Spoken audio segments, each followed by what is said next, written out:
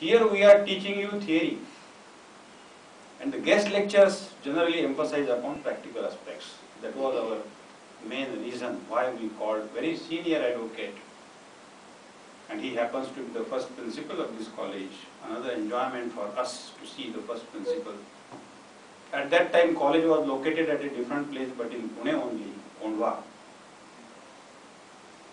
As to this role of the labor court, labor laws, a new jurisprudence has been evolved, new, which is called as industrial jurisprudence. And it has a history. About one and a half century back, the principle of industrial jurisprudence was laissez-faire. This is a French term, laissez-faire. Freedom of contract. Government will not interfere, intervene in master-servant relationship. One and a half century back, master could hire and fire the servant.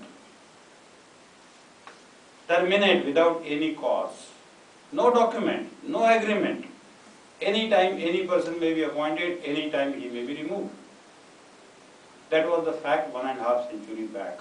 Laissez-faire era, that is called as. Perhaps you will be astonished to know that in this era, one and a half century back, whenever any workman tried to form some union or association, that was treated as a crime of conspiracy and they were punished. Forming an association, leave aside trade union, leave aside registration. In England, so-called socialized, civilized country from which we have borrowed many laws, there also, all over the world also, if any workman in any industry, industry was rudimentary, workmen tried to unite for their lawful demands.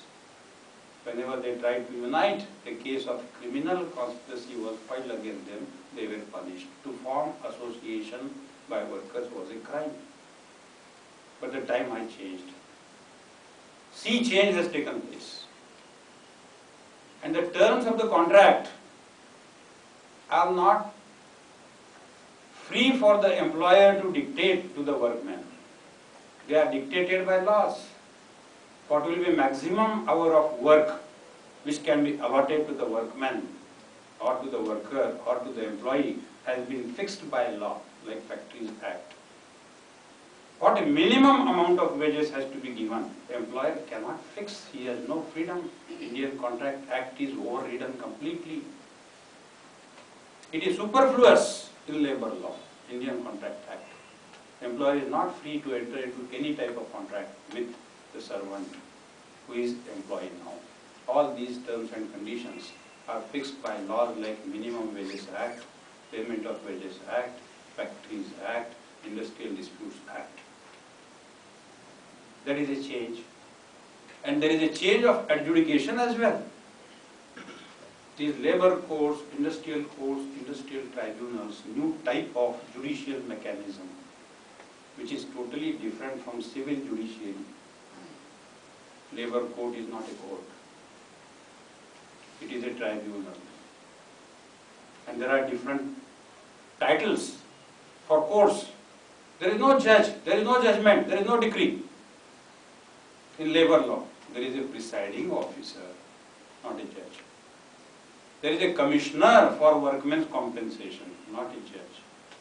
There is a competent authority, not a judge. And there is no decree, there is no judgment. There are awards given. Judgments are called as awards. And sometimes these are called as directions. Minimum Wages Act, Payment of Wages Act, the decisions of the tribunals. All these are tribunals. They do not give judgment, they give direction. Judgments are called as directions or awards. And there is a time-bound disposal of the cases in all labor laws. There is a time limit within which the presiding officer is supposed to dispose of the case. In civil court, there is no time-bound disposal of cases. The civil court may take 10 years for disposal. But every labor law, almost every labor law lays down a time limit, six months or so, within which the presiding officer or competent authority has to dispose of the case. And if there is delay in disposal, the reason has to be mentioned by that presiding officer. And the Civil Procedure Code, Indian Evidence Act is not applicable in any labor court or labor tribunal or industrial tribunal. Only principles of natural justice sufficient.